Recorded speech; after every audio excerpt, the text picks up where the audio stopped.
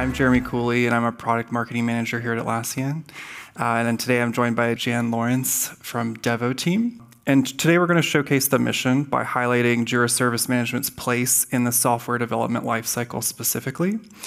And we're going to do that by showcasing two integrations with our core developer tools, which would be Jira Software and Bitbucket. This process can be quite messy. Software development can be quite a messy process. As you see here, there's tons of tasks that each team um, or each phase needs to focus on. And we're going to try to connect the dots and how Jira Service Management can streamline this process a little bit more for you.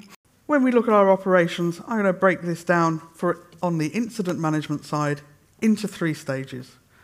We've got our investigation, our collaboration, and then our review. In the past, I spent a lot of time searching through source control and change management tools to find the information I require when we've had an incident. What has happened? Who did it?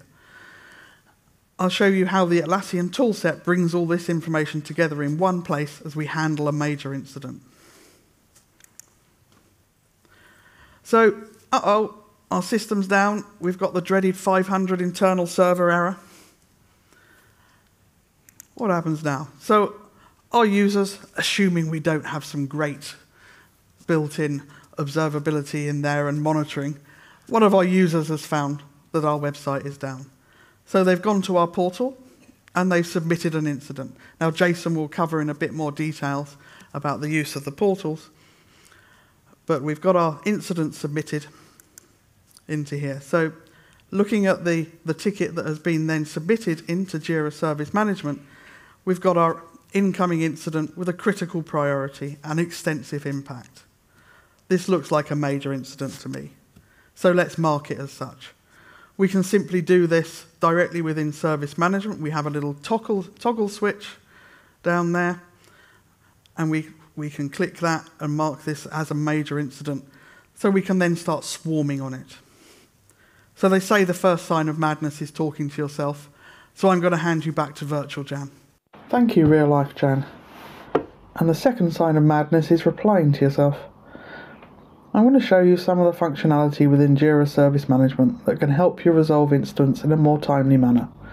We'll start at the investigation stage, swarm the incidents with others to establish a root cause, and agree a resolution and finally implement that resolution. So we had a problem with our website, the dreaded HTTP 500 error code. So let's have a look at the incident in Jira Service Management. As real life Jan mentioned, we can escalate this to a major incident. We can simply toggle this switch. You'll see we've got a nice label at the top that tells us this is a major incident. And if we go to our queues, we can see it's now in our major incidents queue. Now there's some cool new functionality in here that will help us to investigate this ticket in more detail. First thing I'm going to do is look, we have this investigate button at the top. What this enables us to do is it shows us the deployments there have been for this service. We can select these and we can mark it as a potential cause. So let's add that to the ticket as a potential cause. So we have that linked in here. What we can also see is recent changes on the same affected service. And we can also see similar requests. So it looks like this may have happened before. Let's open it in a new tab.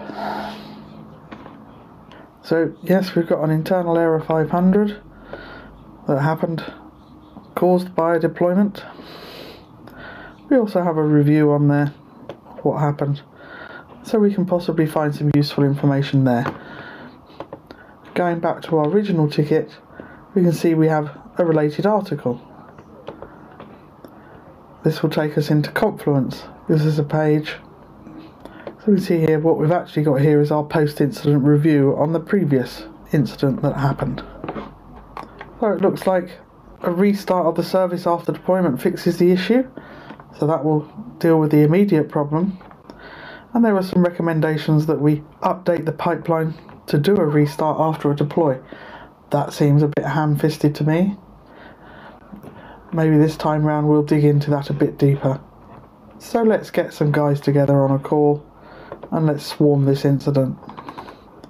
So there's a few ways we can do that here. we can create a channel. Click on this.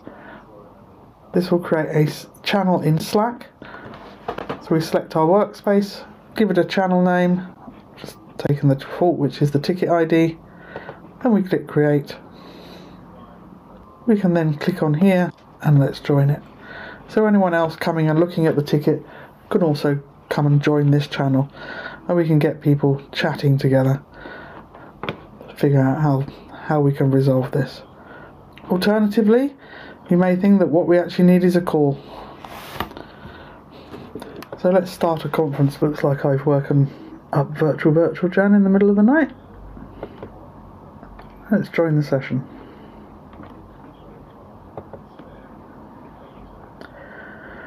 oh so we already have another Jan here. A bit overloading on Jan.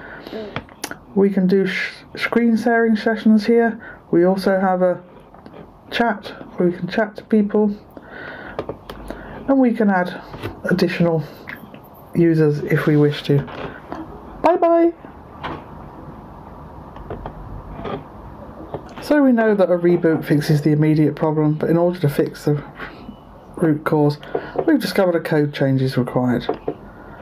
So we can create a Jira software ticket from Jira Service Management by clicking the link issue button, scrolling down, click create linked issue, let's select the Jira software project,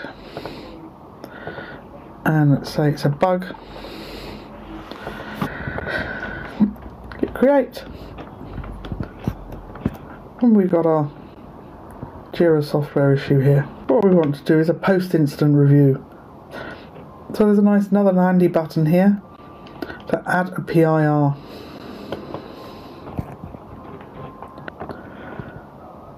So we can see our PIR is attached here. So let's go in.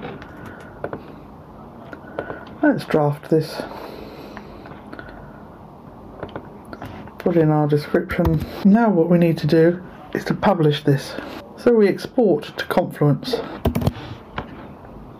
Operations, our page title.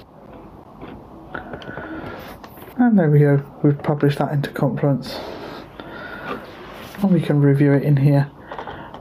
Alternatively, if we're happy with that, we can mark it as published. So there we have our knowledge base article for future reference, should this come up again. Hopefully this is a better resolution this time. So we've seen how the integration between Jira Service Management, Bitbucket, Opsgenie and Confluence can help us resolve our tickets sooner. Access to all the information in one place helps us investigate what has happened Collaboration tools help us work together to establish a root cause and agree on a resolution, and a post incident review that was done to increase the value of our knowledge base. I think I'm done here. Back to real life Jan. Thank you, Virtual Jan. So, having everything together in one place can help us get all the information we need to investigate those incidents. The collaboration channels help get everyone together, we agree on a resolution, and the post incident reviews can help with future incidents. So we've looked how the integration between the Atlassian tools can help you bring together your delivery and operations team to deliver great service to your customers.